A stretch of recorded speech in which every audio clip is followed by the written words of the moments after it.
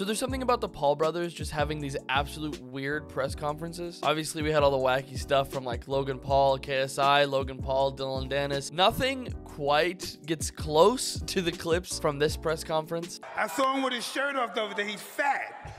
I thought, did you start training already? He should be lean and mean. He's fat and funky. In the start of the clip here, Mike is just kind of throwing some jabs at Jake, saying that he's fat and funky, kind of. And if you didn't know, I mean, I don't know if I really like Jake Paul, but he does have a very impressive physique. Gone from like a very scrawny, you know, like the Disney fuckboy style to a, a decent, nice heavyweight build. Listen, listen, I started Jake off and I'm gonna finish him. And of course, you know, Tyson saying that he's gonna finish him off, which is a little is a little suspect. You know, it's gonna lead us right nicely into what we're about to talk about. Mike will be put to sleep and he will feel my power and I will go down as the man who put Tyson to sleep for the last time. I mean, like Jake Paul, don't like Jake Paul. That was kind of a hard line. You can't you can't lie. Also, it's pretty obvious the proportion of people that want Mike Tyson to win this fight. Obviously, the esteemed Mike Tyson versus Jake Paul. I I want Mike Tyson to win this fight as well. In my honest opinion, I think it's scripted, so I think Jake will win because he paid out Mike Tyson. But that was a very a very nice little jab right there. Make up your mind, were they hard or am I fat?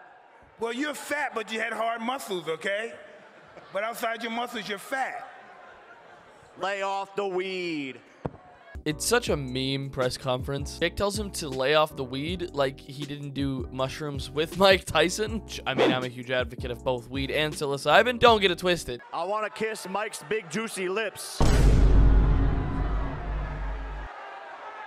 You wanted to kiss me? Indeed.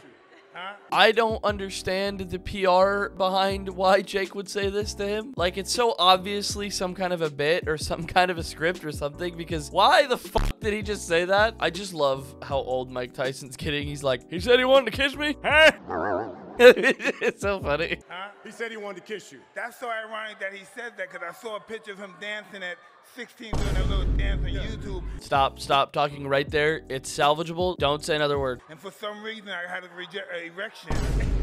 Oh, we're in the end times. We're doomed. It's so obviously bait from both sides. They're probably just, you know, looking for some viral clips to make out of these press conferences, stuff like that. I mean, it's a very, you know, anticipated fight. Everybody wants to watch Mike win. There is definitely a line you should never cross when you're farming clips, and this is this is probably one of them. And you know, this isn't even a new thing. Mike Tyson has an infamous clip which I'm about to play you of probably the best shit talk I've ever heard.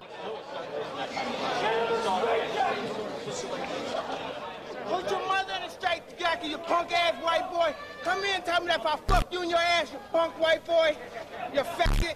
You can't touch me, you're not man enough. I eat your asshole alive, you bitch. Fuck you, you hoe. Come and say in my face, fuck you, you ass for the- everybody. You bitch. Come on, you bitch.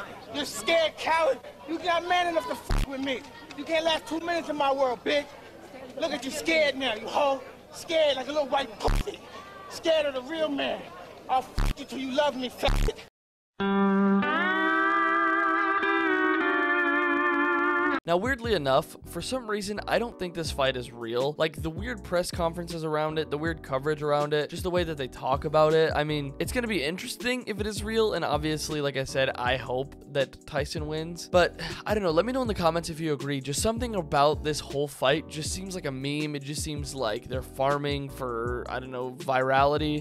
I saw just the other day, you got on social media and you said, I want to address this. So many people, even the Saudi chief, got on social media and said, Mike, forget the script. Beat this guy. What do you say? Tell these people who keep saying that this fight is scripted for Jake Paul to win. Well, just come to the fight and you'll see.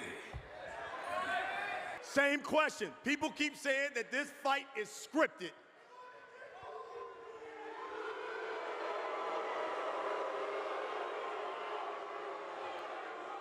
Hey, yeah.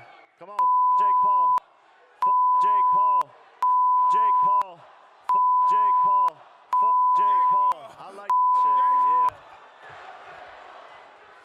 Hey, I hope y'all keep that same energy when I knock this old man the fuck out.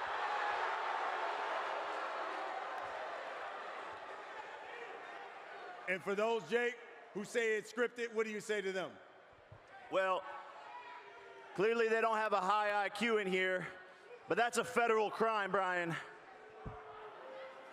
I mean, I will give it to Jake Paul. He's definitely making the right strides to make himself more known as a boxer than as like a Team 10, you know, douche tuber. So with that, you have to give Jake Paul some credit. He's definitely stepped up a little bit into into his, you know, new career that he wants to make, and he's got some skills. I mean, there are professional boxers that will tell you that he's not, you know, just this YouTube boxer anymore. Yeah, I don't know. I'm excited to see the fight pop off. I I hope it's real. I hope it's an entertaining fight, but just something about it, man. I don't think it's real. Make sure to subscribe.